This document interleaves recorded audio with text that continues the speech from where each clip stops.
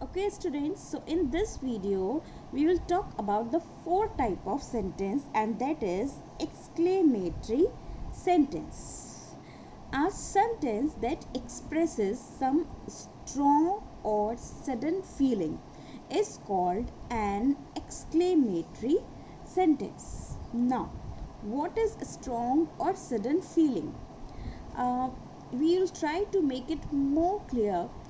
जैसे हम कभी मार्केट जाते हैं। मार्केट में किसी एक शॉप पर हमें कोई बहुत ही सुंदर ड्रेस रखी दिखती है और उसको देखते ही हम उसकी तारीफ़ किए बिना रुक नहीं पाते। हम कहते हैं, wow what a beautiful dress it is sudden feeling तुरंत तुरंत आपके मन में आया, तुरंत आपने बोला सडन फीलिंग वैसे ही अब हमारा मन हुआ कि हमें तो ये ड्रेस लेनी ही तब हम I have to buy this dress it's not sudden feeling it's not sudden feeling ये पोजेशन शो कर रहा है। बट जब हम उसी चीज़ को बहुत ज़्यादा फोर्सफुल वर्ड्स के साथ बोलते हैं that is sudden feeling let's have the example What a beautiful voice Lata Mangeshkar has!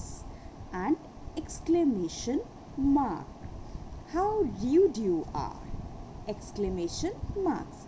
You must take care that while writing an exclamatory sentence, you must add this type of sentence with an exclamation mark.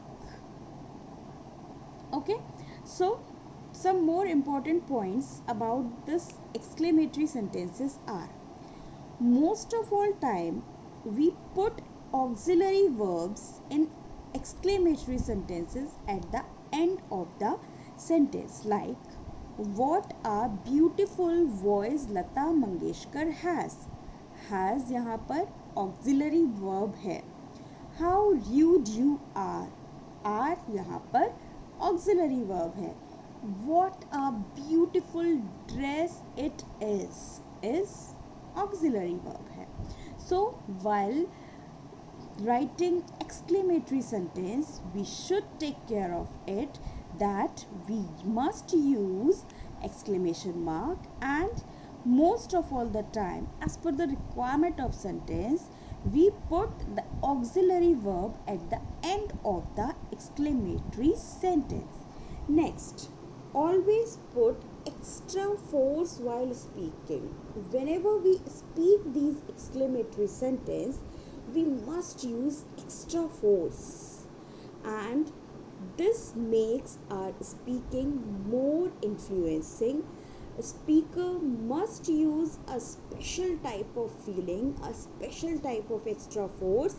By that a listener can understand it very easily that speaker is putting strong or sudden feeling here in this type of sentence okay dear students. Bye bye